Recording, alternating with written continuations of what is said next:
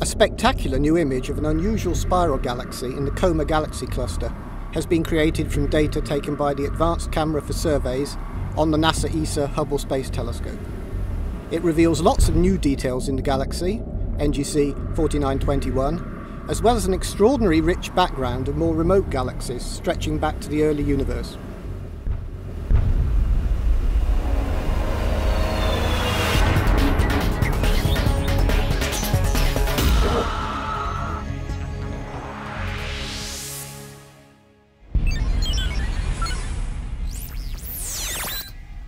This is the Hubblecast, news and images from the NASA ESA Hubble Space Telescope. Travelling through time and space with our host, Dr. J, aka Dr. Joe Liske. Hello and welcome to another episode of the Hubblecast. I'm Richard Hook from ESO. Our usual host, Dr. J, has just had a baby daughter and will be on paternity leave for a while. So I'm here at short notice to tell you about the latest image from Hubble, a rather strange and ghostly galaxy. The Coma Galaxy Cluster, in the northern constellation of Coma Berenices, the hair of Queen Berenice, is one of the closest very rich collections of galaxies in the nearby universe and contains more than a thousand members. The brightest galaxies, including the one called NGC 4921, which we're going to talk about today, were discovered back in the late 18th century by the great astronomer William Herschel. Rich clusters like Coma are pretty crowded places and galaxies undergo many interactions and mergers.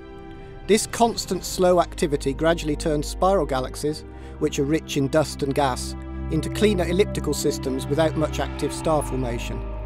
As a result, there are far more ellipticals and fewer spirals in the Coma cluster than are found in quieter corners of the universe. The new Hubble picture shows NGC 4921, which is one of the rare spirals in Coma, and a rather unusual one. It's an example of an anemic spiral, where the normal lively star formation that creates the spiral galaxy's familiar bright arms is much less intense. Because of this, we can just see a delicate swirl of dust in a ring around the galaxy, accompanied by some bright young blue stars in clusters that are clearly separated out by Hubble's sharp vision. Much of the pale spiral structure in the outer parts of the galaxy is unusually smooth and gives the whole galaxy the ghostly look of a vast, translucent jellyfish. This very long exposure Hubble picture shows us lots of fine detail in the galaxy and the universe beyond. If we look more closely at the middle, we can see that this galaxy has a bright nucleus with a straight bar extending to each side. Further out, we can see a ring of dust and lots of hot young blue stars in clusters.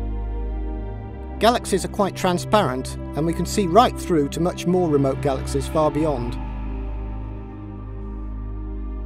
Further out, we could see lots of dots that look a little like stars.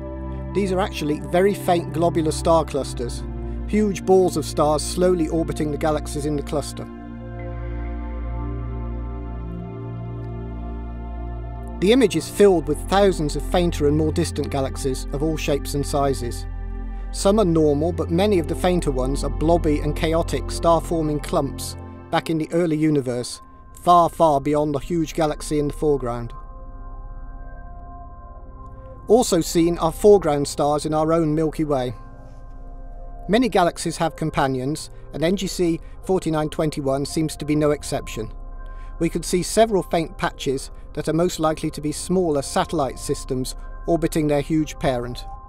Thanks for joining me for a quick tour of this stunning view of NGC 4921, a vast translucent jellyfish of a galaxy. This is Richard Hook, signing off for the Hubblecast. Once again, nature has surprised us beyond our wildest imagination.